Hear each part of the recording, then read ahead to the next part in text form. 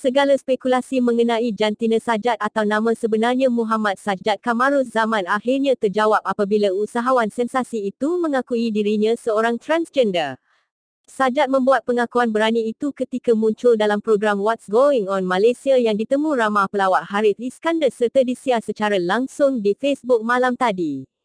Menerusi temu bual itu, Sajak beberapa kali memberitahu dirinya adalah transgender dan memberitahu keputusannya untuk meninggalkan Malaysia mendakwa keselamatannya terancam. Pada satu tahap apabila mendapat tekanan dan layanan berunsur kekerasan, saya jadi takut dan trauma. Tinggalkan saya murung teruk dan perlu mendapatkan rawatan, ambil ubat serta jalani terapi mental.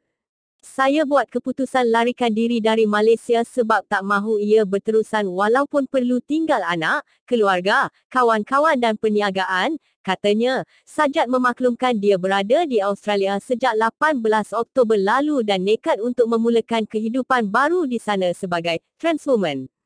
Saya rasa lebih dihargai di sini Australia sebagai orang baharu. Saya sudah diberi nombor cukai serta diberi juga ruang menghadiri kelas untuk mengukuhkan kebolehan berbahasa Inggeris. Saya didedahkan juga dengan seluk-beluk berniaga termasuk belajar urusan import dan ekspor.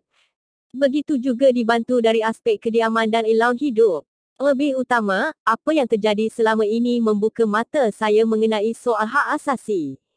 Sebagai manusia kita kena tahu hal itu, hak asasi, dan sekarang, saya hendak move on untuk bina hidup baharu di sini sebagai transwoman katanya.